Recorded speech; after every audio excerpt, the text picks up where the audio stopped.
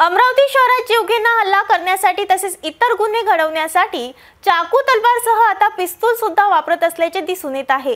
अशीच एक गावठी कट्टा बागडत असलेल्या एका युवकाला राजापेठ पोलिसांनी आठ डिसेंबरच्या रात्री सुतगिरणी परिसरातून ताब्यात घेतले.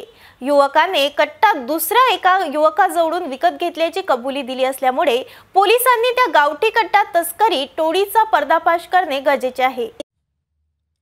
शुक्रवार आठ डिसेंबरच्या रात्री एक युवक देशी कट्टा घेऊन सुदगिरणी परिसरात फिरत असल्याची गुप्त माहिती राजापेठ पोलिसांना मिळाली असता राजापेठ डी बी पोलीस पथकाने छापा टाकून चौरीनगर राहणारा एकोणीस वर्षीय अक्षय संजय चव्हाण याला ताब्यात घेतले. त्याच्याजवळ असलेला वीस हजार रुपये किमतीचा गावठी कट्टा ताब्यात घेऊन त्याच्याविरुद्ध गुन्हे दाखल करण्यात आले.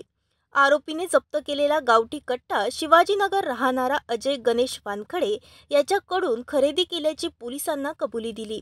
आता राजापेठ पोलीस अजय वानखडे याला ताब्यात घेऊन मुख्य जीवघेणा देशी कट्टा तस्कर टोळीपर्यंत दाखल होऊन टोळीचा पर्दाफाश करतील का? हे पाहणे आता गरजेचे झाले आहे. ही धडक कारवाई पोलीस आयुक्त नवीनचंद्र रेड्डी उपायुक्त सागर पाटील यांच्या आदेशाने राजापेठ पोलीस निरीक्षक सीमा दाताळकर यांच्या नेतृत्वात DB API Puneet Kulat police उपनिरीक्षक गजानन काठेवाडे पोलीस कर्मचारी मनीष करपे रवी लिखितकर पंकज खटे सागर भजगवरे गजानन राऊत संजय वानखडे यांनी केली.